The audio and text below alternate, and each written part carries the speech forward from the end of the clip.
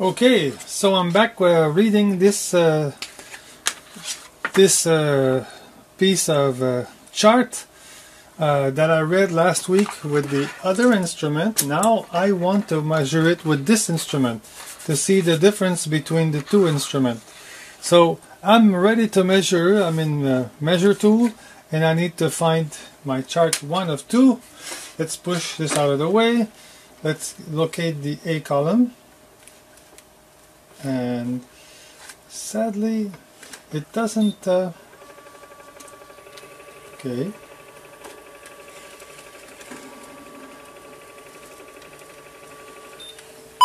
Okay first row is here. First row first column I mean to say. There's the second column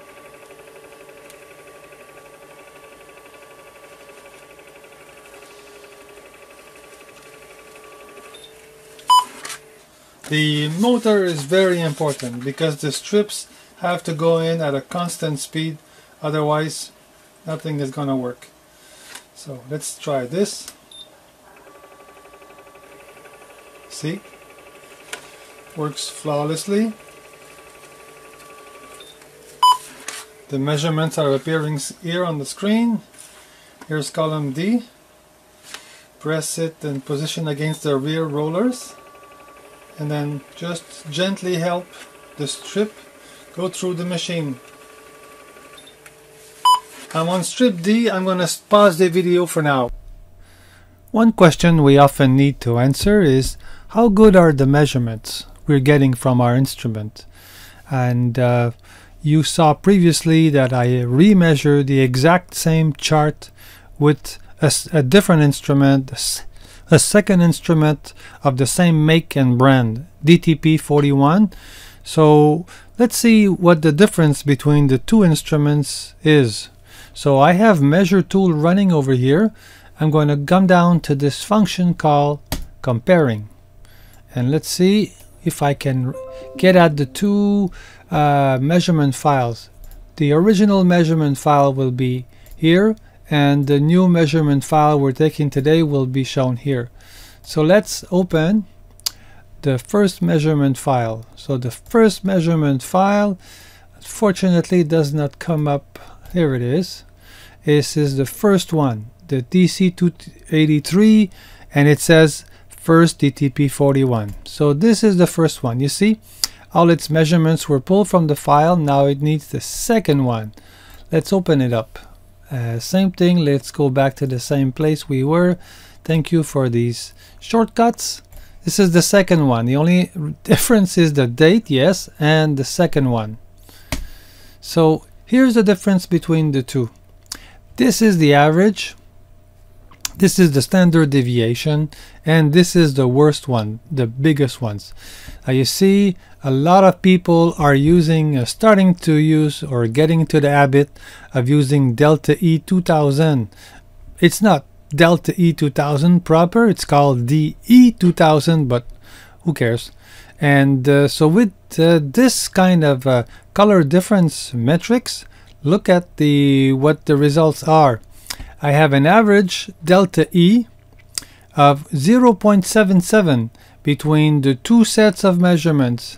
You know, 0.77, that's under 1. That's not half bad. Now let's look at the worst one. The worst is 1.93. Yeah, even 1.93, that's under 2. That's not half bad again. So let's go to the other one, the delta E original the one that came up with the formula in 1976. Some people call it delta E76, some people call it delta EAB, but here it is. So 1.2. So we have uh, what? We have lost a little bit of precision, seemingly, uh, meaning the difference between the measurements from the two instruments is a little worse off. And over here, this is expected, the maximum of 3 delta E that's worse off too.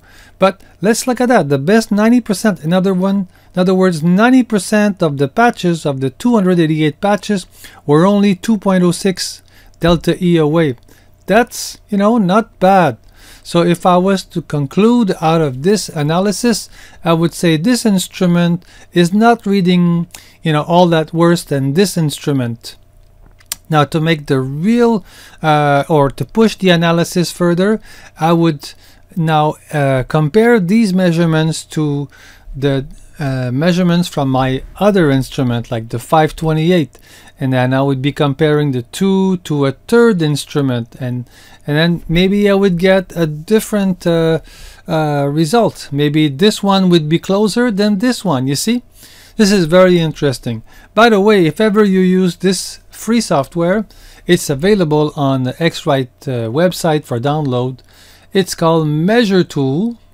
And this is if I'm not mistaken this is version 5.05 it could be 5.1 doesn't matter. The latest one I think is 5.1 and this version uh, is able to run all these tools uh, most of them free. And look at that I'm under Windows 10 and I'm install this application and it's running very well because it's still x86 code. And even if it's Windows 10 it's a 64-bit operating system Windows is still still has all the Win32 libraries. So all the 32-bit codes from these applications are still able to run. But forget about 32-bit drivers. That does not work. Anyway so back to uh, this discussion. So if I place the cursor on any color patch I can see I can't move the cursor anymore, but I can see at the bottom it says reference and then sample and the delta to the right. You see that? I wish I could move my, uh, I don't think I can leave the patch selected and no, forget it, doesn't work. Uh, yes, A1, 2.5, uh, okay, so it works. So now it means that the difference between the two measurements, look at that, 3.1 versus 2.5 because the rest is 0.5 and 0 and 0.8 not a big difference so the difference here comes in the lightness so could be that this one is in, is reading well you know from 2.5 to 3.1 that's not a heck of a big difference in lightness value so you know no one could see this kind of difference let's jump to this uh, this patch A10 A10 See the reference is 39 and now the sample is 41. Between 41 and 39 that's almost 40 and that's barely bigger than 41. So that's not a big difference in terms of lightness. About the A, uh, 61.6 you could round that off to 62 and you can round that off to 63 so again not a big difference of one but still it adds up. And then 52.9 which is almost 53 and this is 53.5 so you know all in all nothing to worry about. Okay if I go to A11 same thing a little bit bigger difference in delta E AB and so on I think there's a a color coding here that uh, the red squares represent the worst one. You see, this says 3.06 delta E and 3.06 delta E. In other words, Where's the biggest difference between the two sets of measurements? It's on this yellow because we cannot tell what's the underlying value, yellow value or RGB value for the test chart because this interface will not show us. Uh, other software can do that like Babel Color uh, Patch Tool if you ever have a chance. Uh, but not this software but you know you get what you pay for mind you Babel color and uh, demo mode can do quite a lot uh, so 90 between 93. Ooh, that's a huge difference for the yellow. 7.8, 8.0, 36, 37.3. So I'll probably revisit my calibration, uh, maybe do it uh, over again just to be on the safe side. So there you have it. This is comparing one set of measurement to another set of measurements. And this is the kind of analysis that can be done from uh, the two sets of measurements. Thank you for watching.